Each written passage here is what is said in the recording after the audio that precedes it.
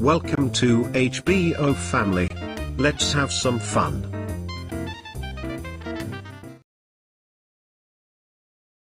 Don't miss the new official kids movie, The Oogieloves, starting now. And now, our feature presentation.